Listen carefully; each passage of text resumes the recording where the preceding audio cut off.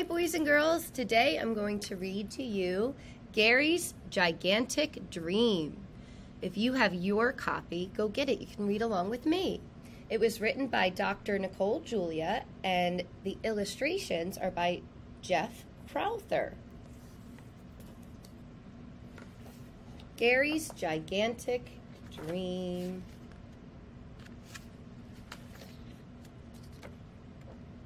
Hey, friend. Hello there. How do you do? My name is Gary. How about you?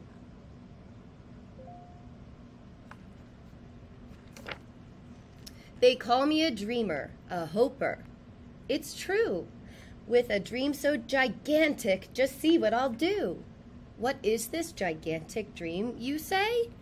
I'll tell you. It started one sunshiny day.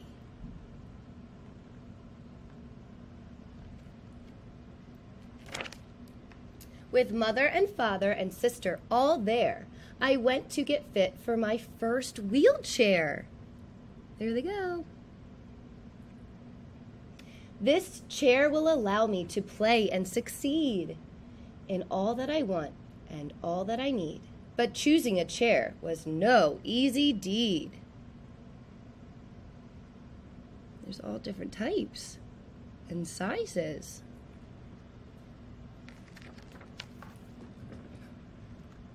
The first was too small because I'm much too tall.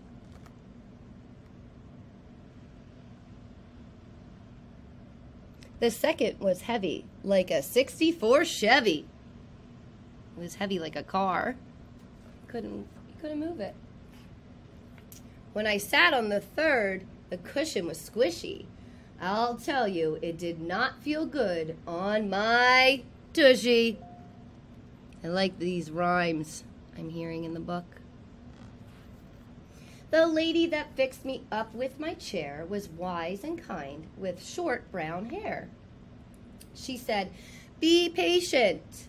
Just wait. You'll see. Let me measure your hips, your back, your knee.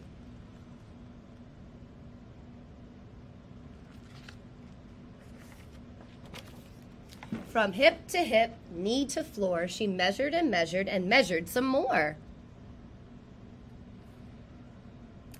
Seat depth and angle, and words I can't say. She measured and measured and measured away.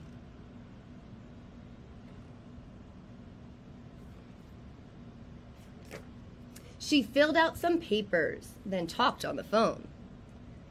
It'll be a while before your chair is your own. The chair is your own. I waited and waited for my chair to appear. Ding dong, rang the doorbell. I let out a cheer. Goodness gracious, golly gee, this was the best thing to happen to me. Go happy. With his chair, I can go and do as I please. Play tag, shoot baskets, and make mac and cheese. Yum. Wow, that chair really helps him get around and do whatever he wants. I can spin, I can dance. Should I visit France? Be kind to others. That's what it says on the Eiffel Tower. We may be different, we may be alike. You walk with your feet, my chair is like a bike. I push these wheels with each hand so I can explore all over this land. Wow. That's pretty cool. That is the day I decided to dream. A dream so gigantic, silly it seems. You asked, here it is, the dream that I dreamed. Gary Gable's Able Fables, story of ability told here, June 25th, sold out. Whoever you are, wherever you go, it is this I truly need you to know. You're able to learn, to play, and to grow. It's true. He's going to talk to and put on a show for all of these people. Look. So from now until forever, I'll embark on this endeavor. I will tell stories of girls and of boys, their challenges, journeys, strengths, and their joys. In fact, I'll tell fables, and I won't stop until I prove.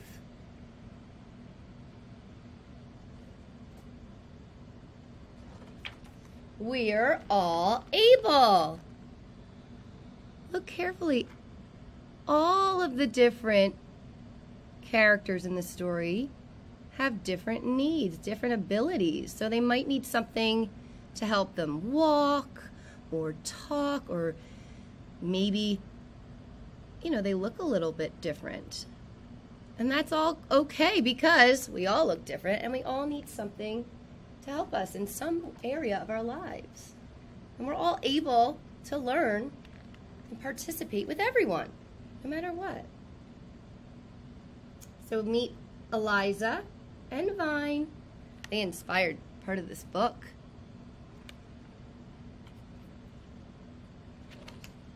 Oops. Here's some more Wall of Famers, kids that helped inspire this story, Gary's Gigantic Dream. I'm glad you met my friends. Aren't they great? I sure think so. Now I want to know all about you. So if you would like, you can go on this website and order the book and fill in your own page and let Gary know all about you. And you can send it to the book company so that he can see. Give it a round of applause for Gary's gigantic dream. Yay! See you later.